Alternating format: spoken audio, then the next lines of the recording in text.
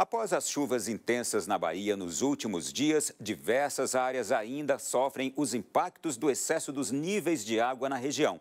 Diversas regiões do estado estão com o abastecimento de água reduzido ou totalmente interrompido. A repórter Camila Castro traz mais informações. 34 localidades da Bahia estão com o abastecimento de água interrompido por causa das chuvas registradas nas últimas semanas. A informação foi divulgada pela empresa baiana de águas e saneamento. De acordo com a Embasa, as fortes chuvas inundaram estações de captação e tratamento, danificaram equipamentos e romperam tubulações.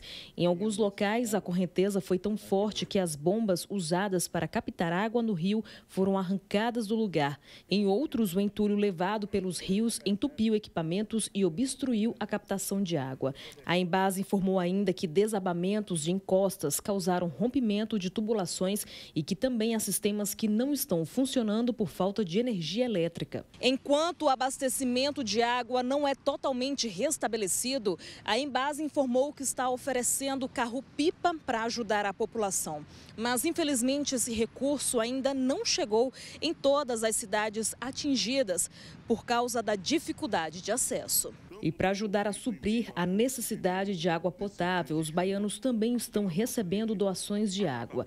Os fardos chegam de várias partes do país e toda essa situação também tem deixado as pessoas doentes. A Bahia registrou 673 casos de síndrome gripal com laudo positivo para influenza A, H3N2 e oito mortes, segundo o boletim divulgado pela Diretoria de Vigilância Epidemiológica da Secretaria de Saúde do Estado. A Secretaria de Saúde de Salvador afirmou que a cidade vive o pior momento no sistema público de saúde desde antes do início da pandemia. A capital baiana enfrenta um surto de influenza desde a semana passada, o que tem causado grande fluxo nos hospitais e UPAs. A família do Alessandro está apresentando sintomas da gripe e ele diz que a situação está complicada.